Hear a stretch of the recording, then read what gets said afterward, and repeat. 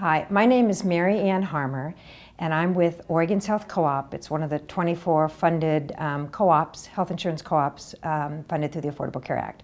I'm also on the board of Coalition for Livable Future.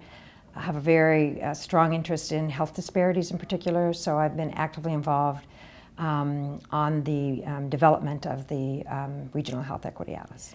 Well, there's so many factors that um, influence, again, equity. And what are those factors?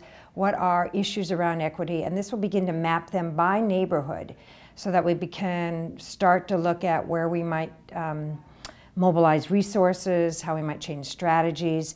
But it really shows the connection and the interrelationships between all of these things, environmental issues, education issues, and then how that impacts as well health and health status. Um, at Oregon's Health Co-op, we are looking at, as we, uh, as members, um, as our members, part of the insurance plan, as they um, engage with us, we will be looking at their health and where they live and they say, you know, the zip code matters, and so we will begin to say, if we have someone, for example, that comes in with high asthma or diabetic, are there other issues that might be impacting their health outside of just access, outside of just, um, you know, their own personal health, um, but looking at the environment and how that impacts their health. I think there's a lot of research that shows the more equitable an area is, the more productive, the more flourishing a community is and the city is.